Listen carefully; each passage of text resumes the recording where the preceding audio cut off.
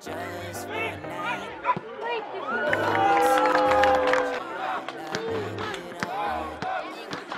んにちは。今回はカップ戦の初戦で日本でいう天皇杯みたいな感じなんですけど6対0の快勝で久しぶりに僕も90分出ました。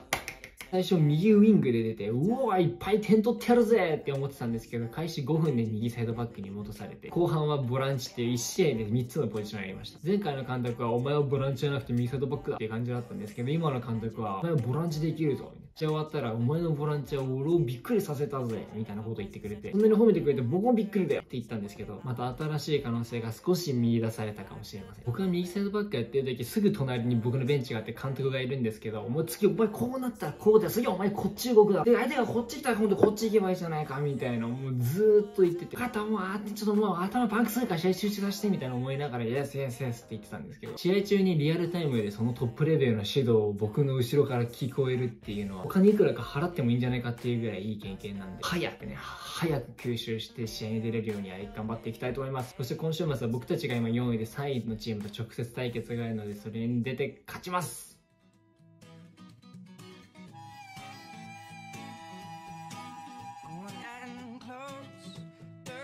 Same.